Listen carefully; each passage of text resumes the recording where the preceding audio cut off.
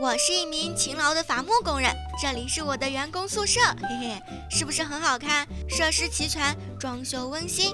但我并不快乐，我的手机在泡温泉的时候进水坏了。买个新手机可要不少钱呢，可不用又不行。去手机店问问吧。老板，老板，出来做生意啦！来了来了，你要买啥？我们这边的手机都是最最最新款，价格公道，童叟无欺，你随便看看。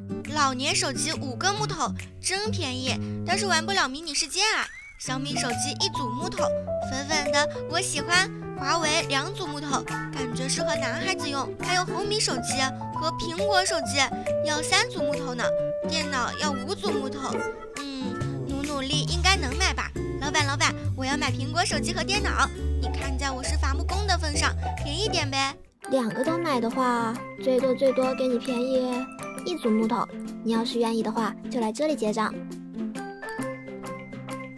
我算算，那就是七组木头，问题不大。老板，我现在没钱，明天砍了木头就来找你买。睡醒啦，直奔伐木场。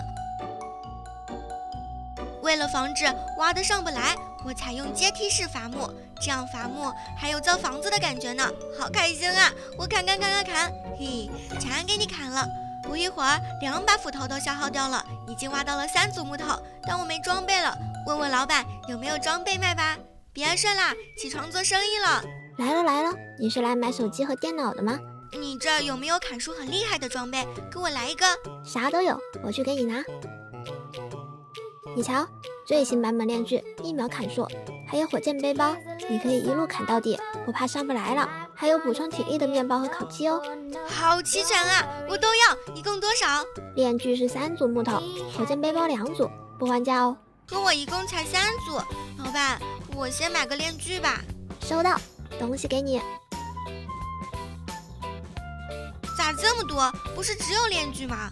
有了这一套装备，一天就能砍二十组木头。你先拿去用，砍完了再给我剩下的钱吧。好，我明天就去，背上我的小书包砍树去了。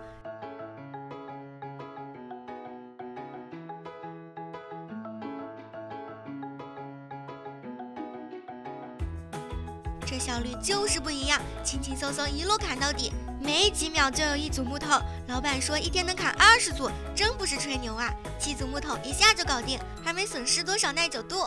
老板，我来买手机和电脑啦，七组木头给你。好的，你的手机和电脑请查收。哇，呵呵，终于到手了！摆上电脑，打开手机。哎，好像还欠老板两组木头，明天再砍吧，先玩再说。